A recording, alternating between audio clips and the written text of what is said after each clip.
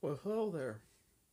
so, this huge package just arrived, and I'm pretty excited to open it up and take a look at what it is inside it, inside of it.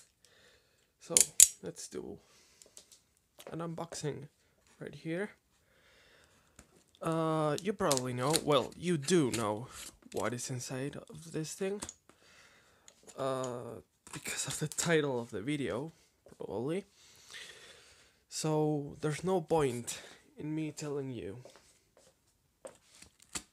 what is inside of this. Well, I'm gonna tell you anyway. It is a Unitra WS 330 amplifier. And let's see how well packed it is. Uh, looking real good right here. Looking really, really good, actually. Uh, really extremely good.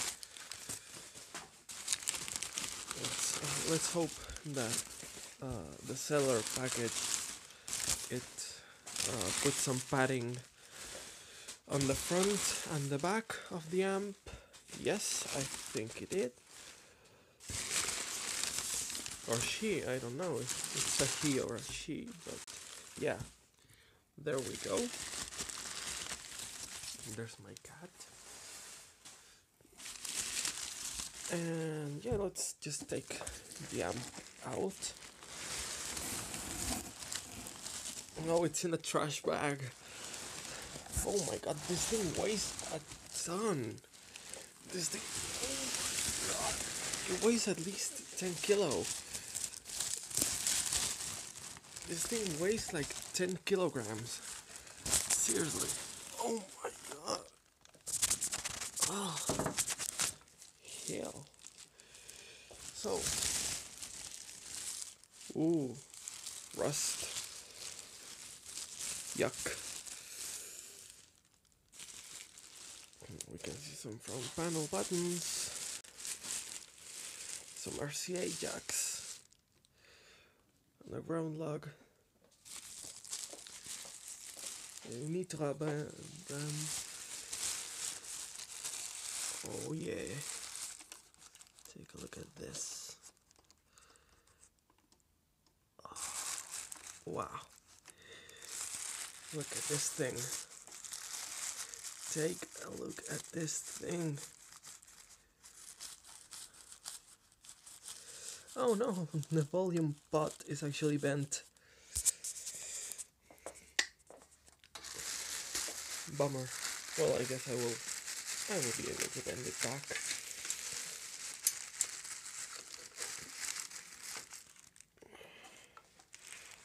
Wow, this thing is really, really heavy. Let me tell you, it is really, really heavy. So, let's take a look at the device. Let's see if the feet are still all there. Yes, they are. They are all in there. They're plastic though, they're not rubber. Well, I guess that's good because they don't decompose. So let's uh, take it. Let's put it down. There we go. So there we go. What do you want? Oh, she wants to go outside.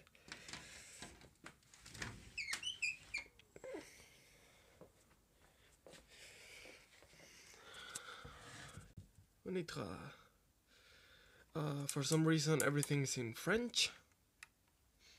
I don't know why. Uh, this is supposed. Unitra is supposed to be a, a Polish uh, brand, but something is in. I mean, everything is in French for some reason. As you can see, stereo amplifier digital series. I don't know why they call it digital series. but WS330. As you can see, we have all of our inputs right here.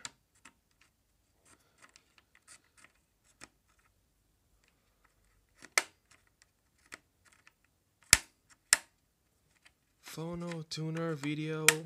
They don't seem to lock in, actually. Uh, they don't seem to be locking in. Oh, I'll have to grease that control down. Oh, it seems to be working now. Just fine. There we go. Oh, focus, come on. There we go. It seems to be working now. Tape 2. There we go. We have phono tuner video, which is just an auxiliary input. Uh, tape 1 and tape 2. The second tape input is just a DIN input. Uh, we have VU LED uh, times 001 loudness and low filter for you know rumbling on turntable turntables. We have bass. We have treble. We have balance. And we have volume.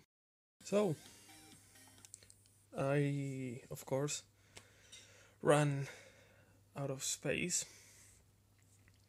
So I was on the volume control. So while the while the phone was copying files to my server, I went ahead and plugged it in, plugged the amplifier in, and hooked it up to my mini disc player right there onto a pair of little tiny speakers. And what do you know, it works. And exactly like the description said, uh, only the A uh, group of speakers work. Only the A group.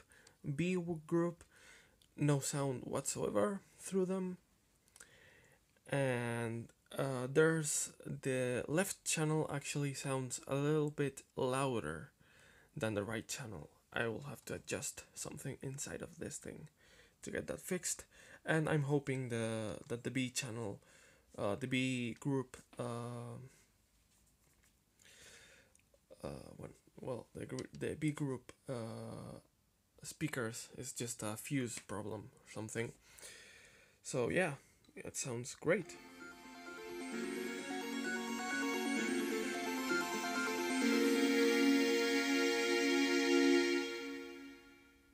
By the way, this is Kubbi.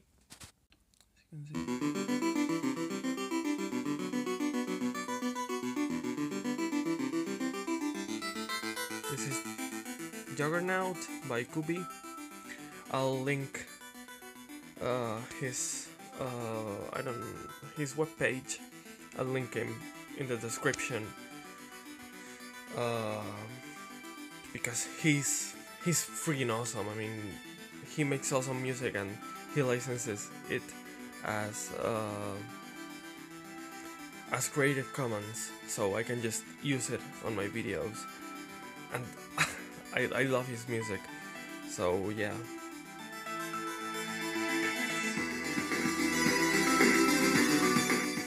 This VU meter looks awesome.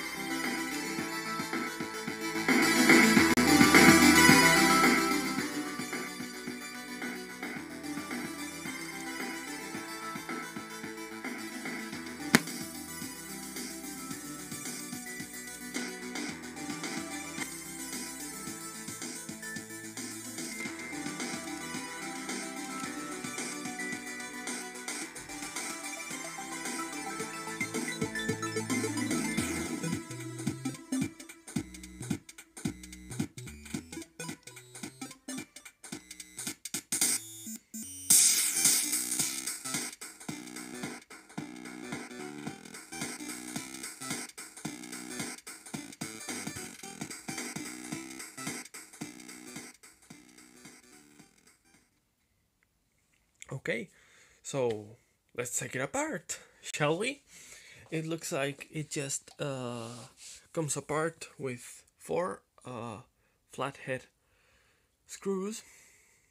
Two on this side and two on this side. So yeah. Oh yeah. I also uh, straightened up the volume but and it is no it isn't scratchy or anything i'm really impressed by that. So yeah and all of the knobs feel amazing. All of the knobs on this thing feel amazing and all of the buttons feel amazing. They feel quality like serious quality. So yeah. Let's take this thing apart. So I have taken the cover apart and wow, this thing looks old school. It really, really does look old school. Um, looks like uh, someone has actually uh, surpassed the protection circuit, or maybe it wasn't populated from the start, but there's no relay in here. And all of these, which are the you know all of the protection uh, circuitry uh, thingies uh, are not populated. So yeah. But we do have two fuses right there which are good. We have this massive uh, dual section cap. We have dual 47,000 microfarad microfarad oh 4700 microfarad uh, 30 volts made in Poland of course. This thing is huge. It is huge. Um, yeah we have lots of this thing wow it, it looks so old school. It really does. Uh, we have all of these uh, loomed, uh, manual, manually loomed wires with actually these cotton, we have these cotton uh, these uh, cotton, what would you call them? Uh, these cotton threads uh, following the looms, I guess to eliminate uh, static electricity and I guess they work pretty well because the noise floor on this thing I have cranked it up uh, all the way and the noise floor was pretty pretty damn uh, low on it. Um, yeah. The speakers uh, I'm actually starting to think that the yeah, looks like this cable is pinched. Has been pinched. This is the B side speaker. Actually, uh, no, where where does that go? That goes into where does that go? Yeah. No, it doesn't go into the ground. Huh. Weird. Well, I'll just see. Uh, it's probably just a, a rusty switch. I'll just spray that with contact cleaner and see what happens. Uh, these fuses look uh, bad. These are on the on the uh, VU meter and they look bad. I I'll have to check them out, but certainly. Let me see if I'm able to take one of them. Well, let's see if I can focus on that. Yeah, they look. They look bad. Hmm. I wonder if that is actually causing the the balance problem.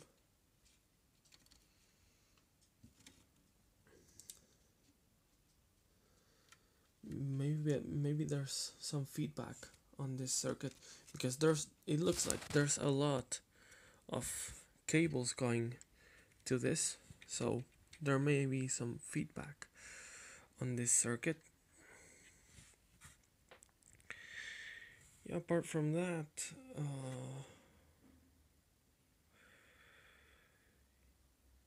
yeah everything is uh although it doesn't look like it, uh, we have coaxes. These are coax. These are really, really thin, but they are actually coaxes. Look at that. They are coax cables, so everything is shielded. The output transistors are, let's see, oh, they are ST. No, wait. Oh. Oh. ST, BD, those are ST, the other ones aren't. These are MEV. So, uh, okay, BD24 3C, BD24 3C. Okay, so I think these ones, I don't know if these are the NPNs or the PNPs. I'm not sure. Come on, focus. Uh, let me clean the lens. Those are just dirty. This is why. That is why it is having trouble focusing. Um. Yeah. So the either the NPN or the PNP uh, transistors have been replaced on this thing. Huh. No, actually. 82.7. So 7th week on, of 1982. Right there. Who knows, maybe they, they ran out of parts and they had actually bought ST uh, semiconductor. Uh, and I run out of space again. But I did find out why it is malfunctioning and why the speakers, the second pair of speakers, aren't working. Uh, the reason why it is malfunctioning is because it isn't. It isn't designed to actually work with the second pair of speakers turned on only. Uh, the button is actually uh, uh, pushable by itself, but the speakers themselves are not. Uh, this isn't wired up to actually make those speakers work by themselves. So I have found a way because there's uh, four free contacts on there on those switches. I have found a way to actually make use of those switches to actually use the B speakers individually as a pair by themselves. so what do you know? So that's what I'm gonna do. I have my soldering iron out. And yeah, that's that's what I'm gonna do. I'm just gonna wire them up. It's actually gonna end up uh,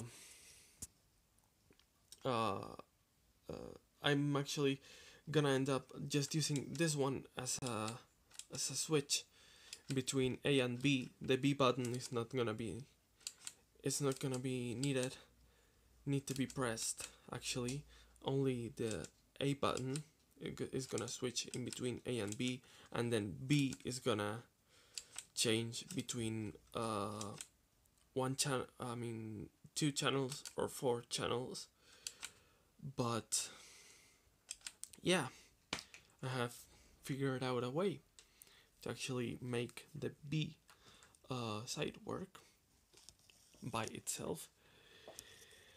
So yeah pretty cool. And uh, regarding the actual the gain problem where one channel sounds uh, one channel sounds louder than the other.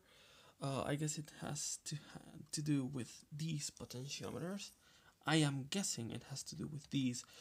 Uh, I hope these are not the DC bias uh, potentiometers. I hope the DC bias is set uh, by resistors or automatically or something. Or some uh, something or other because these are as you can see they are set in different positions. In very different positions actually. So I am assuming that that's the problem there. Um, I'm also gonna try and dig out a schematic I found a schematic for the uh, Unitra uh, WS442 which is a lot similar to this one. And uh, I think that one has the protection circuit in it. So maybe I can populate all of this and make the protection circuit work. Have a working uh, protection circuit that'll be a project for some other day because I don't have any money. I spent all of my money literally on this uh, amplifier. And well I have 10 euro left but those 10 euro are going to go to cables because I have to buy, buy cables to plug this in. Because right now I, I am using a little adapter that I made for my Sony TA V11 that is the amplifier that I'm using right now on my sound system uh, I'm using uh, those uh, little adapters that have RCA plugs on one end and some Sony proprietary plug on the other end. So this thing has all RCAs, so uh, I'm gonna have to use RCA to RCA cables, so and one RCA to DIN cable, which I'm gonna have to make because I can only find uh, playback uh, DIN cables even on eBay so I will have to make a record playback uh, DIN cable either either that or just solder uh, cables to this thing. Uh, I don't I don't think I have a DIN 5 plug uh, on hand. Yeah I don't think I have a DIN 5 plug on hand so I would have to order that one. Or just go to the electronics uh, store. I don't think they're too expensive. So yeah. So I hope uh, the gain thing has to do with those potentiometers and I'm just gonna do the jumper thing on this so I can use the B uh, pair of speakers individually. And yeah. Hopefully that'll be it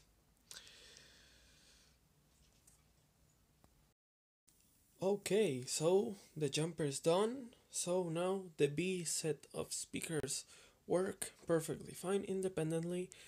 And I have found the cause of uh, the little drift in volume.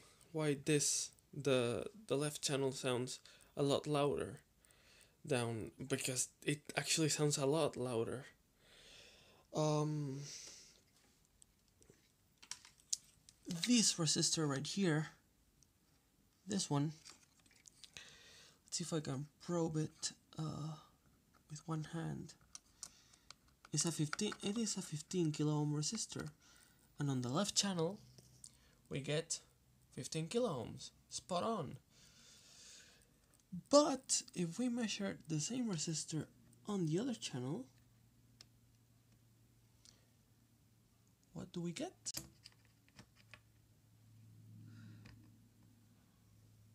Huh. 5 kilo ohm. Yeah, that isn't right. That isn't right at all.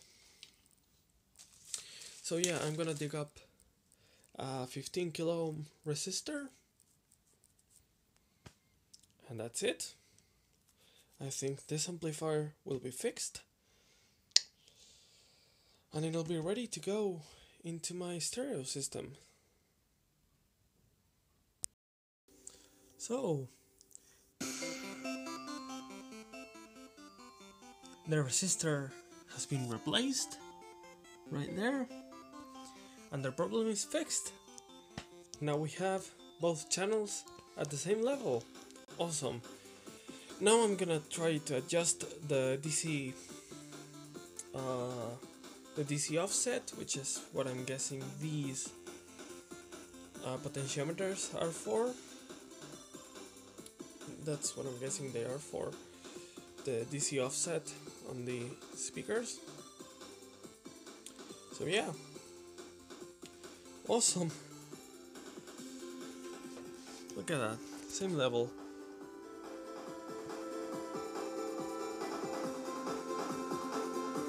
Looks like uh, the resistor for this LED right here has gone bad too. So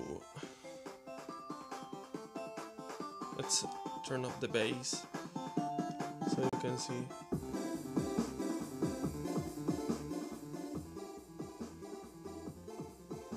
Yeah, the resistor for that LED is fracked. Uh, it's probably this one right here. Yeah, it's actually getting warm. what do you know? So yeah, yeah, I'll have to check that resistor. Um, but yeah, the ch dif channel difference problem has been solved. And luckily it was at the start of the signal path right here on the after the signal selectors and everything it was just at the start of the signal path in the amplifier because I don't know much about electronics. I don't know a lot about electronics so that being in there was it was a bless let me tell you. So yeah. Good. Let's see if I can do something about that LED set the DC offset on the on the speakers. And off we go. Well this amplifier is turning into a little bit of an adventure. Uh, turns out the LED on this is at actually at the transistor is bad. It is the this transistor. It's not any of the resistors so yeah i'm not a transistor guy. It is actually uh what is it? It says 307 let's see if i can focus on that thing without burning the charger cable for my uh, phone. 307a uh, I'm not a transistor guy. Well, I'm not an, elect- an electronics guy, so I don't know crap about that. So I'll just leave it as is, like that. Uh, I found out these potentiometers are actually to set the quiescent current on on the transistors. So uh, uh, standard procedure on on any amplifier, right? There's a test point right there and right there. You just probe it and you put your uh, multimeter in the milliohms, uh, millivolt, sorry, millivolt range, and you put you just tweak that potentiometer um, to get that as close to zero as possible. Uh, so on this side, I was able to put that to let's see 0.1 I was able to put it to there. But on the other side the lowest I'm getting is 30 31 millivolts. Um yeah. I am measuring the sides of the potentiometers the yeah the size of the actual I don't know what you call them and on this potentiometer one side is minus 1.1 volt the other side is also uh, the other side is minus 1.4 volts on this potentiometer though one side is minus 1.1 volts just like in the other potentiometer but the other side is minus 0.007 volts. Uh, I don't know why that is. I am suspecting this uh, resistor. So I'm gonna measure that. Uh, let's see. Holy crap, I mean, this thing is just turning into a little bit of an adventure. Let's see what it measures on. Let's put this into the 20k. See what it measures on the good channel.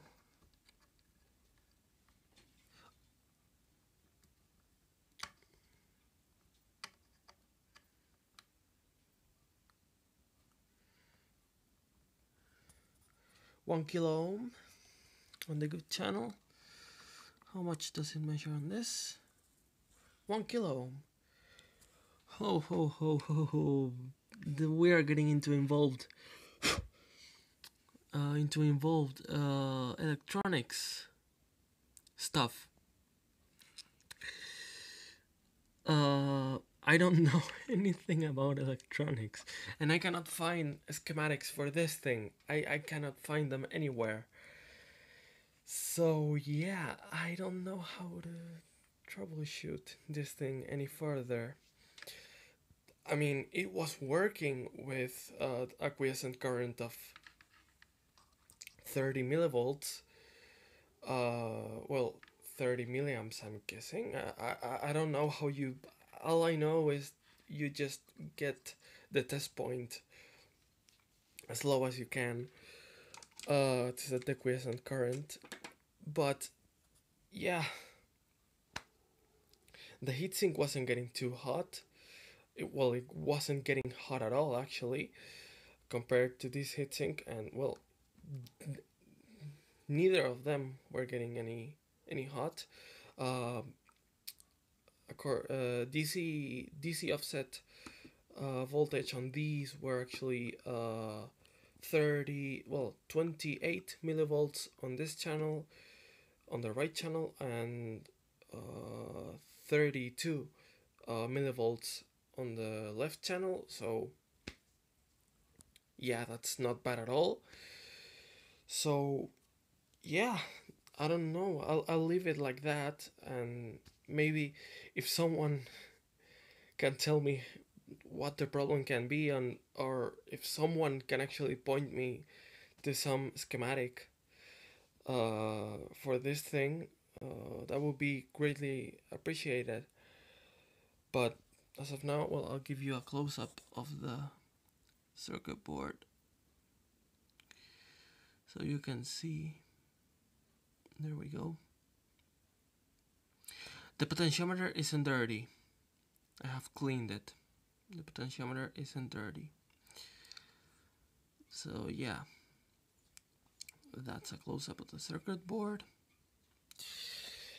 Uh, well I'll just clean the thing and put it in my stereo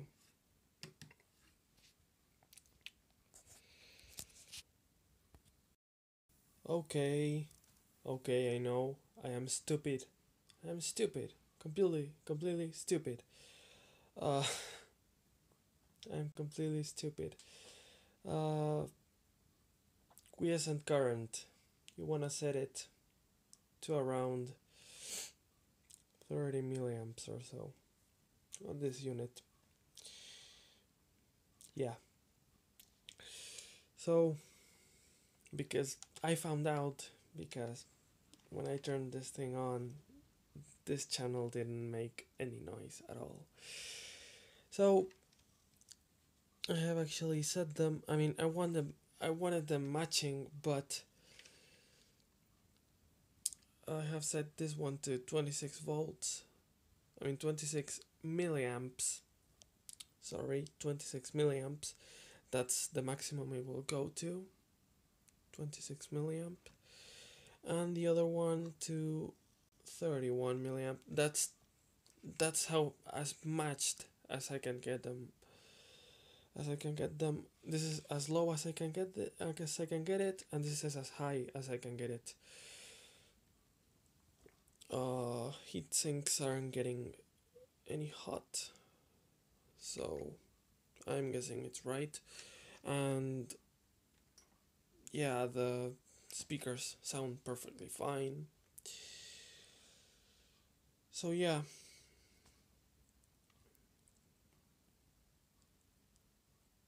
I'm an idiot. I am a friggin' idiot.